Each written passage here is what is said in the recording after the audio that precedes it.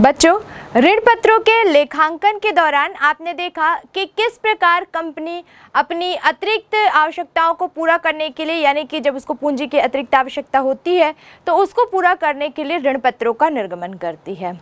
और जिस प्रकार ऋण पत्रों का निर्गमन किया जाता है, यानी ऋण लिया जाता है ऋण पत्रों के आधार पर, वैसे ही उनका शोधन, यानी कि भुगतान भी किया जाता है। तो इस अध्याय में हम देखेंगे ऋण पत्रों का शोधन, यानी कि ऋण पत्रों का भुगतान। अब अगर बात करें ऋण पत्रों के शोधन की तो इसके अर्थ को हम जाने तो कुल मिलाकर ये वही स्थिति है, जबकि एक ऋणदाता को कंपनी ऋण को वापस कर देती है। उससे लिए गए पैसों को वो उसको वापस कर देती है सीधे सीधे शब्दों में। तो जब ये पूरी प्रक्रिया ऋण पत्रों के माध्यम से होती है यानी कि कंपनी ने ऋण पत्रों के आधार पर ऋण लिया था और अब उन ऋण पत्रों की राशि को कंपनी वापस कर रही है। तो यही जो प्रक्रिया है, ये ऋण पत्र का शोधन कहलाती है। और अगर हम देखें कि ऋण पत्र जो है वो कंपनी के दायित्व की तरह होते हैं तो जैसे ही इन ऋण पत्रों का भुगतान हो जाता है कंपनी के दायित्व की समाप्ति हो जाती है।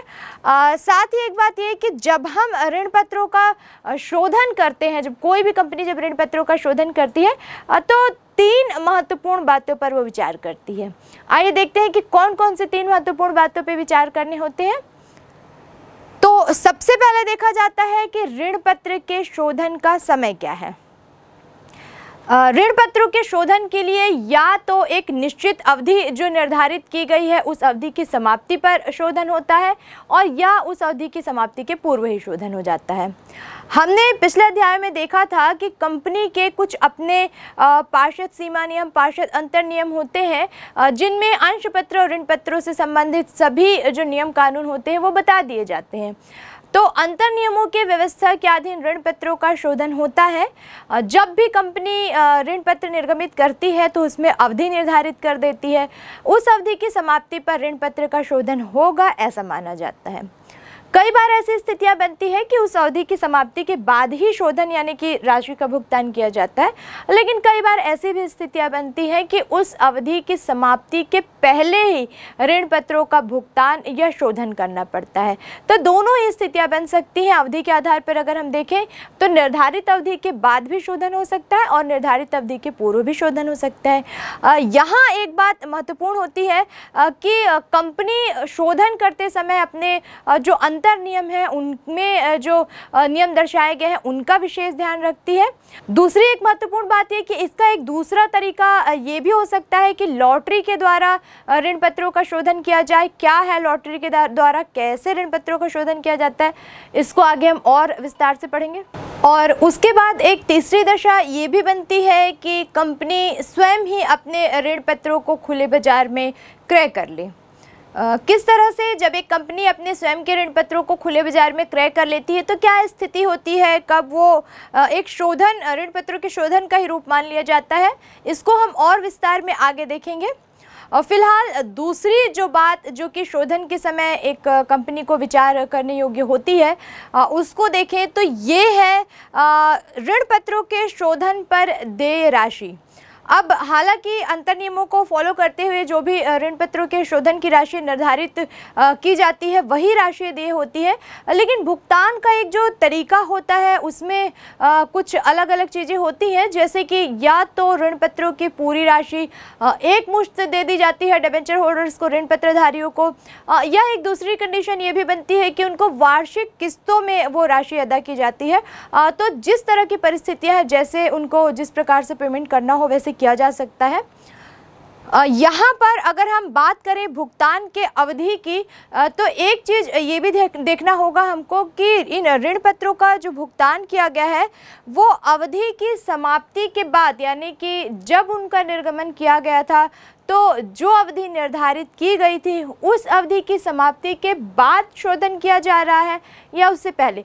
तो अगर अवधि की समाप्ति के बाद अगर शोधन किया जा रहा है तो यहाँ पर हमको जब हमने निर्गमित किया था तो वहाँ पर देय राशि पे प्रीमियम और बट्टा की भी राशि उसमें हमने कैलकुलेट की है। इस बात का हमको विशेष ध्यान रखना है कब?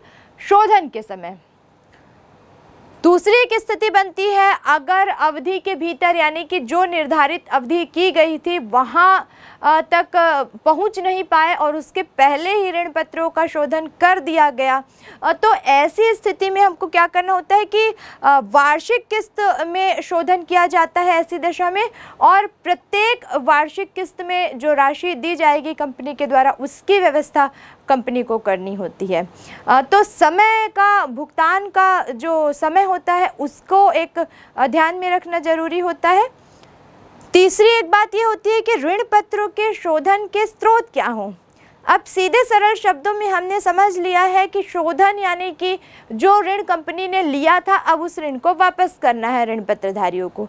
तो ऋण को वापस करना है, पैसा वापस करना है तो इसका सोर्स क्या हो, पैसा कहाँ से आए, कैसे पैसा लाकर वापस किया जाए उनको। तो इस संबंध में यहाँ पर हम देखते हैं कि कंपनी इनके शोधन के लिए जिस धन की कंपनी को आवश्यकता होती है उसके लिए कंपनी के लिए किस, किसी विशेष जो स्रोत होता है उसके लिए कोई वैधानिक नियम नहीं होता है। कंपनी अपनी पूंजी में से या नए अंश पत्र ऋण पत्र निर्गमित करके उनका शोधन कर सकती है। विधिवार अगर हम पढ़ें कि किस तरह से हम इसकी कैलकुलेशन करेंगे, कैसे हम जनरल एंट्री करेंगे तो कुछ बिंदुओं के आधार पर हम इसको समझेंगे। जैसे सबसे पहला तो कंपनी नए अंश और ऋण पत्रों को निर्गमित करके शोधन कर सकती है। अंशों को जब निर्गमित किया, नए ऋण पत्रों को जब निर्गमित किया तो उनसे जो धनराशि प्राप्त हुई, उसी राशि से पुराने ऋण पत्रों का शोधन यानी भुगतान किया जा सकता है। एक तो ये कंडीशन दूसरी संचित लाभ की राशि में से कंपनी क्या करती है? प्रत्येक वर्ष शोधन क्योंकि उसको करना ही आज नहीं तो कल भुगतान तो करना ही है। तो इसके लिए एक संचिति का निर्माण कर लेती है। तो संचिति में जो अमाउंट है, लाभ की जो राशि है, उसमें से अगर वो पर्याप्त राशि है तो उसमें से भुगतान किया जा सकता है। तीसरी एक बात आती है कि आधिक की विधि से सरप्लस अगर कुछ है, उससे भुगतान किया जा सकता है। और चौथा जो है वो परिसंपत्तियों के विक्रय से, ये भी एक लास्ट ऑप्शन होता है कि कंपनी के पास अगर संपत्ति पैसे अगर नहीं है ऋण पत्रों का शोधन के लिए, ऋण पत्रधारियों को भुगतान करने के लिए तो परिसंपत्तियों को बेचकर भी उससे प्राप्त राशि से भी ऋण पत्रों का भुगतान किया जा सकता है। तो ये तीन दशाएँ थी जिनको कि बहुत सावधानी से ध्यान में रखते हुए ऋण पत्रों का शोधन किया जाता है। अब आइए देखते हैं पहली कंडीशन जबकि अंशों और नए ऋण पत्रों के निर्गमन से कंपनी पुराने जो ऋण पत्र हैं, उनका शोधन करती है, यानी डिबेंचर होल्डर्स को पेमेंट करती है। तो ये एक ऐसी दशा बनती है, जबकि कंपनी सबसे पहले इस बात का एनालिसिस करती है कि कितनी राशि की उसको आवश्यकता है ऋण पत्रों के शोधन के लिए। उसके बाद वो देखती है कि उसकी अधिकृत पूंजी क्या है, कितने अंशों के लिए वो आवेदन निर्गमित कर सकती है। अगर कुछ अंश निर्गमित करने की और क्षमता है तो वो कुछ अंशों को निर्गमित करती है, ऋण पत्रों को निर्गमित करती है और उन नए अंशों नए ऋण पत्रों के निर्गमन से जो राशि उसको मिलती है उस राशि से वो पुराने ऋण पत्रधारियों का निपटारा कर देती है, यानी कि उनको भुगतान कर दिया जाता है। तो इस कंडीशन में किस तरह की जनरल एंट्री की जाती है? आइए इस पर एक नज़र डालें।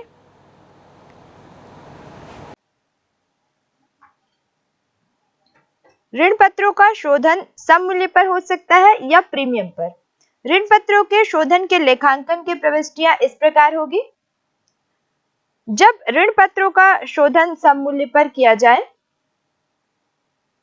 debenture account debit to debenture holders account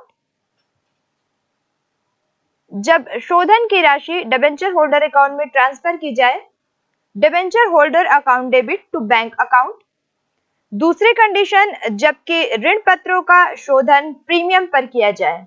इसके अंतर्गत पहली प्रविष्टि होगी डेबेंचर अकाउंट डेबिट इस राशि को जब डेबेंचर होल्डर अकाउंट में ट्रांसफ़र किया जाएगा तो प्रविष्टि होगी debenture holder account debit to bank account जब डेबेंचर होल्डर्स को पेमेंट किया जाएगा, उस कंडीशन में एंट्री होगी debenture holder account debit to bank account क्योंकि ऋण पत्रों के शोधन पर जो लाभ होता है, वो पूंजीगत लाभ होता है। इसलिए ऋण पत्रों के निर्गमन पर होने वाली जो कटौती होती है, उसको अप्लिखित करने के लिए इसका प्रयोग किया जाता है। तो आपने देखा कि जब नए अंश पत्र या ऋण पत्र जारी करके कंपनी ऋण पत्र धारियों का भुगतान करती है तो कौन कौन से जनरल एंट्रीज होती हैं? आइए इस संबंध में कुछ क्रियात्मक प्रश्नों को हल करें। कई बार ऐसी दशाएँ बनती है जबकि ऋण पत्रों का पूंजी में से शोधन किया जाता है। तो ये कौन सी दशा है जबकि ऋण पत्रों का पूंजी में से शोधन किया जाता है और किस तरह से इसकी कैलकुलेशन और इसको हम पंजीकृत करते हैं? आइए देखते हैं। एक तो जब ऋण पत्रों का पूंजी में से शोधन किया जाता है तो शोधन कोष यानी जिसको हम रिडम्शन फंड बोलते हैं, उस, उसमें जो बैलेंस होता है, उसको हस्तांतरण करने की आवश्यकता नहीं होती। जैसे कि अभी हमने जनरल एंट्रीज में देखा कि कब किस कंडीशन में हम शोधन कोष में हस्तांतरण करते हैं प्रॉफिट को। लेकिन अगर पूंजी में से शोधन होता है तो हमको ये जो बैलेंस है, शोधन कोष का, उसको हस्तांतरित करने की आवश्यकता नहीं होती है। और अगर बात करें कंपनी अधिनियम 2013 की धारा इकहत्तर चार के अनुसार तो सेबी ने अपने जो नए दिशा निर्देश जारी किए हैं इस विषय पे। अगर हम उसको ध्यान रखें तो हम देखते हैं कि ऋण पत्र का जो शोधन कोष है, वो प्रारंभ करने के पूर्व ही ऋण पत्र की जो कुल निर्गमित की गई राशि है, जितने के लिए वो डिवेंचर इशू किए जा सके चुके चुके हैं। उसका कम से कम 25 परसेंट जो भाग होता है 25 प्रतिशत राशि का जो भाग होता है, उसके बराबर की जो राशि होती है, वो ऋण पत्र शोधन कोष में ऑलरेडी हस्तांतरित कर दी जाती है। अब ऐसी कंडीशन बन जाती है कि पूरी की पूरी राशि, क्योंकि 25 परसेंट तो अलग हो गई तो पूरी की पूरी राशि को पूंजी में से फिर शोधन कर पाना असंभव हो जाता है। एक दूसरी स्थिति ये बनती है कि ऋण पत्रों का लाभ में से भी शोधन किया जा सकता है। कई बार लाभ की राशि अधिक होती है, अधिक जिसे हम कहते हैं वो अमाउंट अगर पर्याप्त होती है तो उसमें से भी शोधन किया जा सकता है। तो किस तरह की दशाएँ बनती हैं इसमें? जब हम ऋण पत्र में से लाभ में से जब हम ऋण पत्रों का शोधन करते हैं तो यहाँ हम देखते हैं कि ऋण की राशि के पूरे सौ प्रतिशत के बराबर जो है वो लाभ हानि विवरण या जिसे हम कहते हैं लाभ हानि अप्रोप्रिएशन अकाउंट में ये पूरा का पूरा नया खाता खोलकर इसको हम ऋण पत्र शोधन खाते को इसमें हस्तांतरित कर देते हैं। अब इन आधार पर जो सेबी के जो दिशा निर्देश दिए गए हैं, उनके आधार पर हम जो जनरल एंट्री करते हैं कितनी अमाउंट हमको शोधन कोष खाते में हस्तांतरित करनी है और किस तरह से उसको हमको पेमेंट करना है इस पूरी प्रक्रिया को समझने के लिए आइए इसकी जनरल एंट्री पर एक नज़र डालें। तनिष्क लिमिटेड के पास चार लाख दस प्रतिशत ऋण पत्र शोधन के लिए बकाया थे। इनके शोधन के उद्देश्य से कंपनी ने छह लाख के नौ प्रतिशत ऋण पत्र निर्गमित किए। कंपनी ने ऋण पत्रों से प्राप्त रकम से ऋण पत्रों का शोधन भुगतान कर दिया। आवश्यक जनरल प्रविष्टियाँ कीजिए। यहाँ हमारी जो फ़र्स्ट एंट्री होगी, वो होगी छह लाख रुपए जो एप्लीकेशन मनी रिसीव होगा इस पर। उसके लिए हम एंट्री करेंगे। तो नॉर्मल जो हमारी एंट्री होती है, वही होगी। फ़र्स्ट एंट्री हो जाएगी bank account debit to nine percent debenture application and allotment account for application money receive six lakh से हम इसकी एंट्री करेंगे। दूसरा, जब हम इसको, ये जो छह लाख हमको मिला है उसको जब हम डिबेंचर अकाउंट में ट्रांसफ़र करेंगे तो यहाँ हमारी जनरल एंट्री हो जाएगी nine percent debenture application and allotment account debit to nine percent debenture account six lakh से हम इसकी एंट्री करेंगे। अब ये जो डिबेंचर है, उस पर जब हमको शेयर होल्डर का पेमेंट हमको जब ड्यू करना होगा तो उसके लिए हम एंट्री करेंगे ten percent debenture account debit to debenture holders account for ten percent debenture transfer to debenture holder account तो यहाँ पर ये जो चार लाख रुपए शोधन के लिए ऋण पत्र थे, उनकी चार लाख रुपए की अमाउंट यहाँ पर हम लिखेंगे। और अब जबकि हम इन डिबेंचर होल्डर्स को इस चार लाख रुपए का पेमेंट करेंगे तो पेमेंट के लिए यहाँ हमारी जनरल एंट्री हो जाएगी debenture holder account debit to bank account four lakhs P limited ने सौ रुपए वाले दस हज़ार बारह प्रतिशत ऋण पत्र, पाँच प्रतिशत बट्टे पर निर्गमित किया। किंतु पाँच वर्ष के अंत में पाँच प्रतिशत प्रीमियम पर शोध्य थे। ऋण पत्रों के निर्गमन तथा शोधन दोनों के समय जनरल प्रविष्टियाँ कीजिए।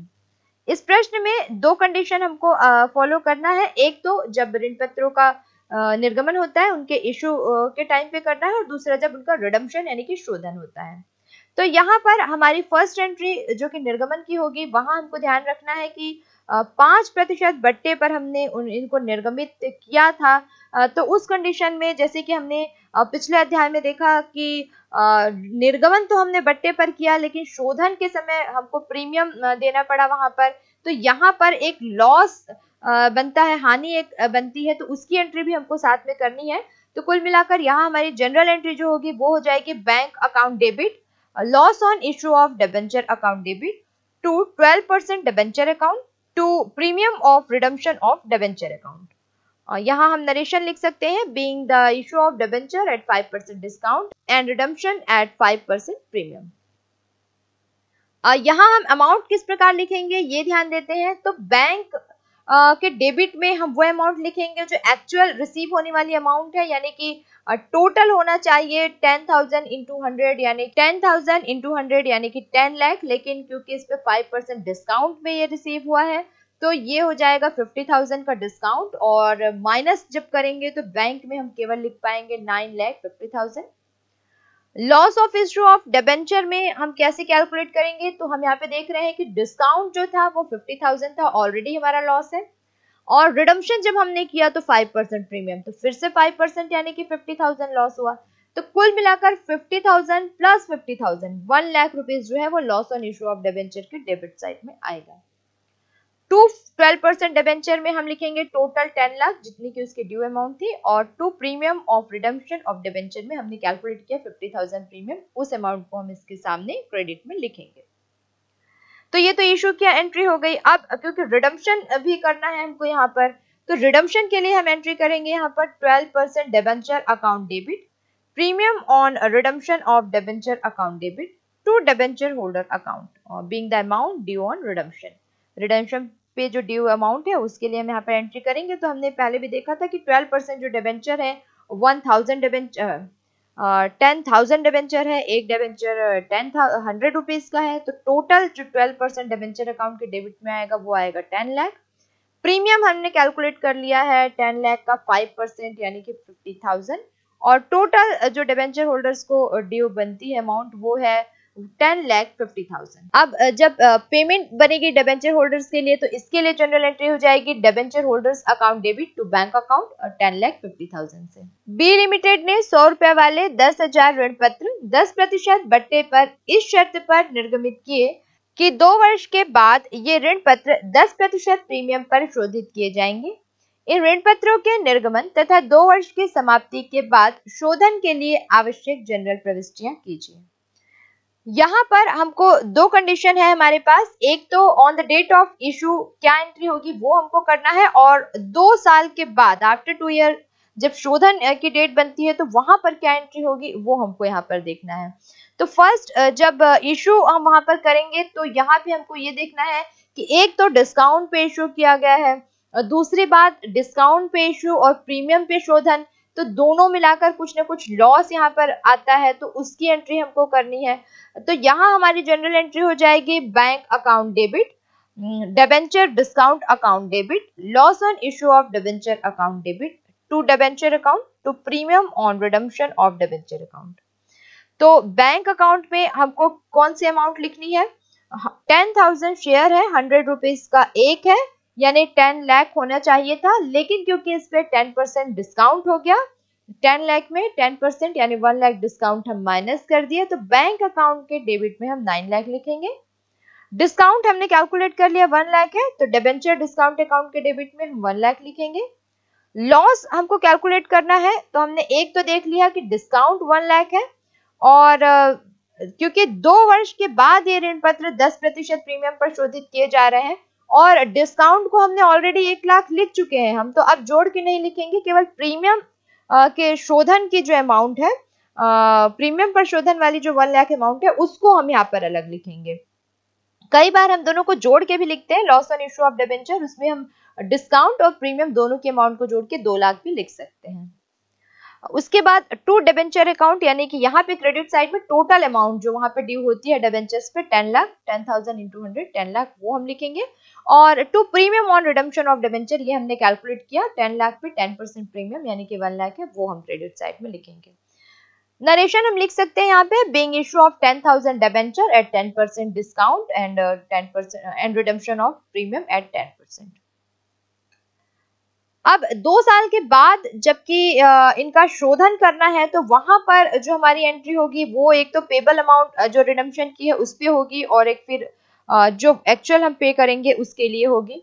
तो यहाँ हमारी, क्योंकि हमने क्वेश्चन में देखा है कि ये जो रिडम्शन हो रहा है, वो टेन परसेंट प्रीमियम पे हो रहा है तो यहाँ हमारी फ़र्स्ट जो एंट्री हो जाएगी, वो होगी debenture account debit premium on redemption of debenture account debit to debenture holder account being amount payable on redemption तो डिबेंचर अकाउंट में हमने देखा कि टेन थाउज़ेंड डिबेंचर है हंड्रेड रुपीज़ का एक है तो डिबेंचर अकाउंट के डेबिट में हम टेन टेन लाख लिखेंगे। प्रीमियम हमने कैलकुलेट किया टेन लाख का टेन परसेंट तो वन लाख प्रीमियम आ जाएगा। और डिबेंचर होल्डर अकाउंट के क्रेडिट में इसका जो टोटल है ten plus one eleven lakh वो हम लिखेंगे। अब क्योंकि पेमेंट जो मेड हो रही है, उसके लिए हमको एंट्री करनी है तो ये एंट्री हमारी हो जाएगी टोटल इलेवन लाख से। Debenture holder account debit to bank account eleven lakh से। ऋण पत्रों के शोधन के लिए जारी सेबी के दिशा निर्देश डिवेंचर रिडेम्पशन रिज़र्व और डीआरआर का निर्माण केवल गैर परिवर्तनीय एवं अंशतः परिवर्तनीय ऋण पत्रों को केवल गैर परिवर्तनीय हिस्से के लिए ही किया जाना आवश्यक है। दूसरा, शोधन प्रारंभ करने से पहले ऋण पत्रों की कुल राशि के कम से कम 25 प्रतिशत के बराबर डीआरआर बनाया जाएगा। तीसरा डीआरआर का निर्माण केवल चालू वर्ष के लाभों में से ही किया जाएगा। Company share capital and debenture नियम 2014 के अनुसार वैधानिक स्थिति। इस नियम के अनुसार कुछ विशेष कंपनियों पर ऋण पत्र शोधन कोष का निर्माण करना आवश्यक नहीं है। डीआरआर का प्रतिशत ऋण पत्रों के मूल्य के 50 प्रतिशत से 25 प्रतिशत कर दिया गया है।